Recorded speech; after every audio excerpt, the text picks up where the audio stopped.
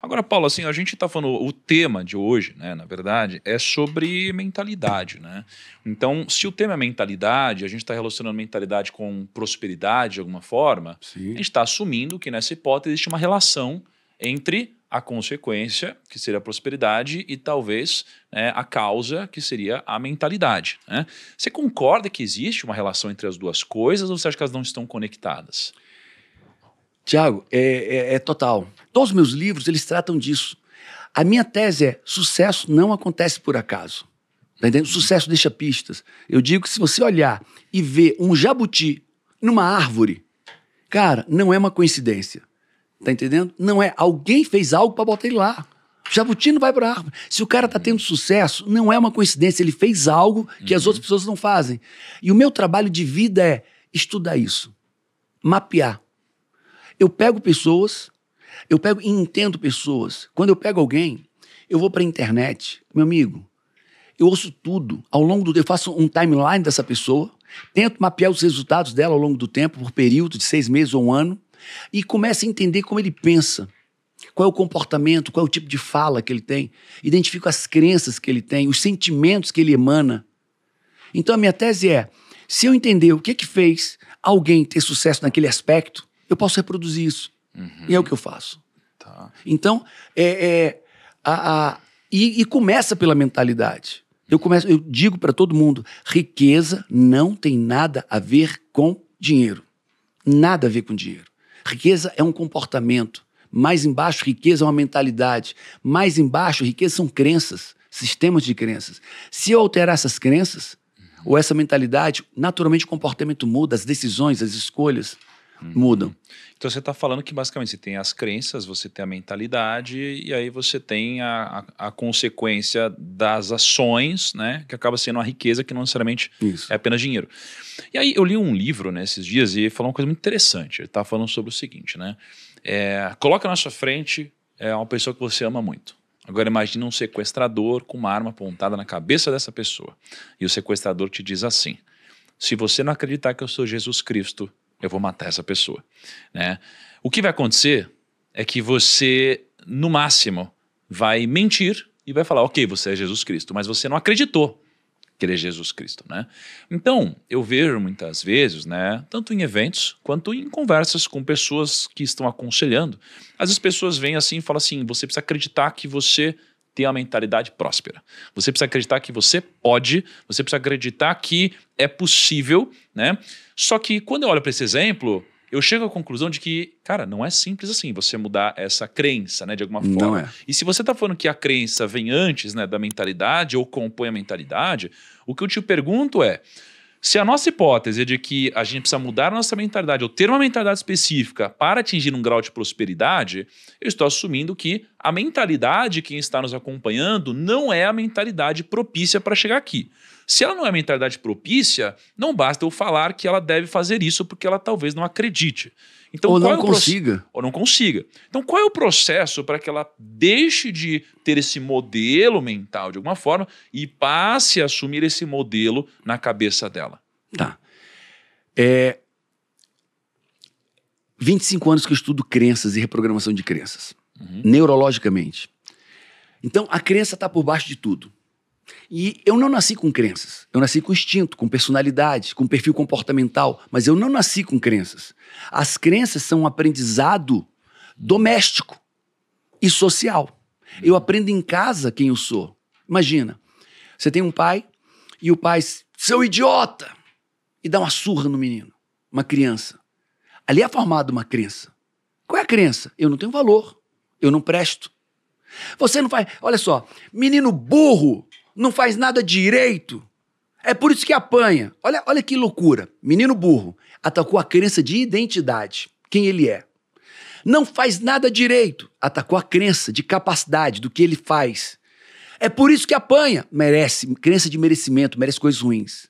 Eu e você, a nossa vida é pautada pela identidade, capacidade e merecimento.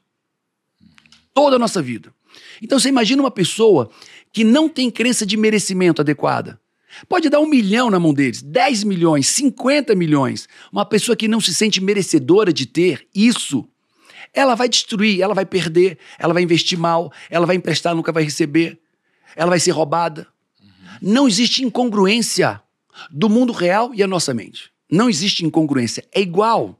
É como um ponteiro que aponta para a prosperidade, só que a primeira parte é realização, aqui no meio, mentalidade, aqui crença. Ela vai apontar. Então, se eu estou apontando para a pobreza, você pode dar o dinheiro. Tem pesquisa, alguns anos atrás estava numa pesquisa, que pessoas ganharam na Inglaterra. Isso não tem pesquisa no Brasil, mas na Inglaterra tem essa pesquisa. Pessoas ganharam na loteria inglesa lá milhões e milhões e milhões de libras. Em até dois a quatro anos, perdeu absolutamente tudo. E 30% morreu ou entrou nas drogas. Paulo, por que, que alguém recebeu milhões, 100 milhões, comparando para 100 milhões, 200 milhões de reais, em dois a cinco anos perdeu tudo? Pô, porque a riqueza não tem nada a ver com dinheiro. Como é que essa pessoa gastou esse dinheiro? Como é que ela se relacionou com as pessoas? Que pessoas se conectaram com ela? Como é que ela investiu? Como é que ela guardou? Para que ela deu? Para que ela emprestou?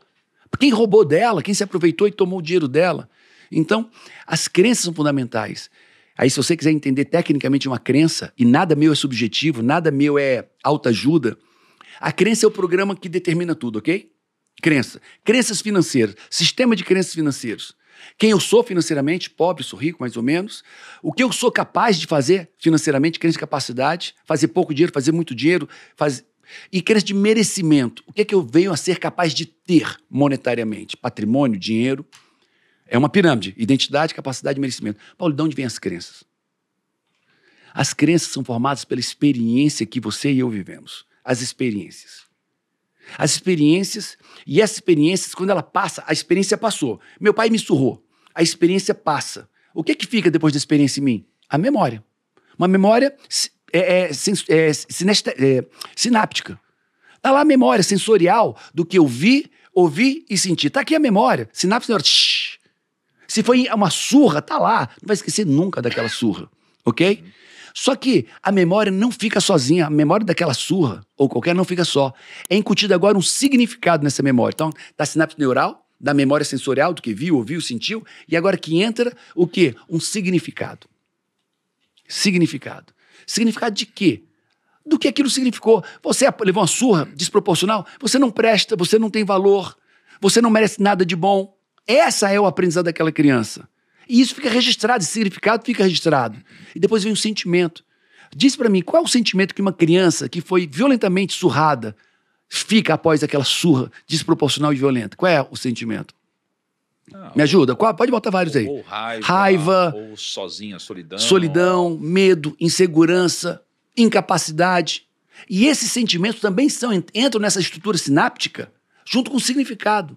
Então, aquela memória sinapses, de sinapses neurais, de quem eu sou, do que eu sou capaz, está ali. Significado, você é um, um droga, um nada. Uhum. Sentimento, medo, dor, insegurança. Paulo, e essa, e essa crença vai para a vida inteira. Vai para a vida inteira. Talvez o grande sucesso dos meus cursos é porque eu nunca trago apenas a parte técnica.